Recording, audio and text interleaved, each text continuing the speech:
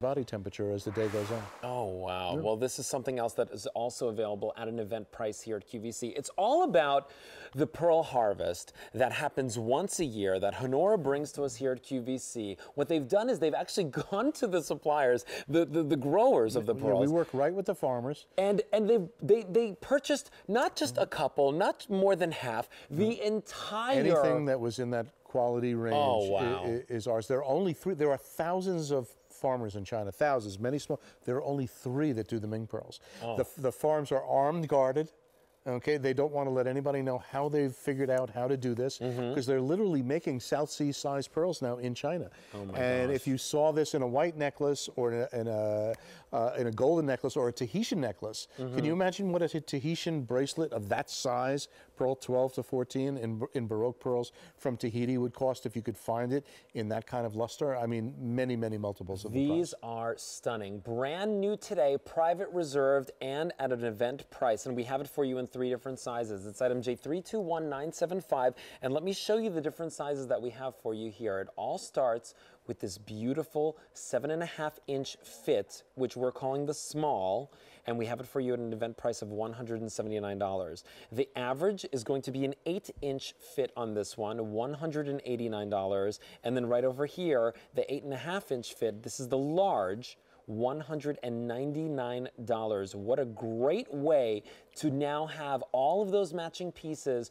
to your necklace, to your today's special value. And if you pick that one up, look at the combination to be able to wear that gorgeous necklace, whether you got 18, whether you got 20, 24, or 30. Now you can have the full suite. It's at MJ321975, 11 to 14 millimeters in these. Right. Wow. We'll start with just a little bit smaller, trying to make the bracelets as as just wearable as humanly possible. Mm-hmm. And then those big sizes, it becomes a, just a major bracelet statement piece. As you get this on the wrist, they feel yeah. amazing. The pearls are exactly the same, so it's the same quality. It's going to blend perfectly mm. to your mm. necklace. You could even add it as an extension to your necklace. oh wow! Yes. so if you yeah. if you picked up maybe the 24 inch and you want to add a, several inches to it, now you can just connect this and use it as a connector in the back. What I love about the the Ming pearls is is what you said. Like so, first of all, they feel they feel right, ridiculous. feels great. To, great they do feel great amazing. to the touch, right? Yeah, they do feel amazing. Yeah, you want to, kind of put this like you know you can imagine against your neck, right? As soon yeah. as, it, as soon as it touches your skin, they're very cool in the morning.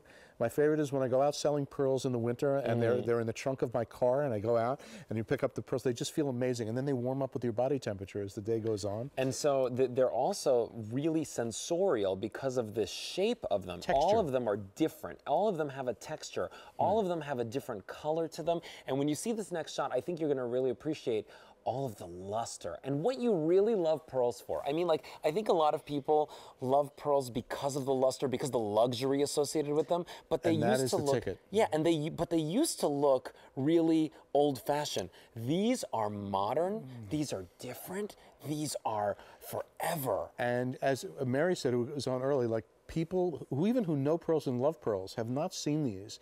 So all of a sudden you you go into a restaurant, you're wearing a necklace like this, and people do they come over to you, people who love pearls and who are interested in it, they come over and they go, "What is that?" And uh, we hear this all the time that there's this captivating thing about Ming pearls because pearls used to be just white, Alberti. That was yeah. it. There was you you know you had white round. They sat in a safety deposit box. You took them out for a funeral or mm-hmm. a wedding. Okay. Yeah. They went back in the safety deposit. Well, because they were you know quite frankly you could, you didn't want to wear them every day. These are the pieces that you want to wear every day. They're statement How pieces. great is that with the beige, right? I mean, with the, with the beige color clothing and just all of those colors popping out from the pastels, which really work to some of the vibrant ones. Mm. And again, that's the 30 I think Suzanne's got on now. That that real.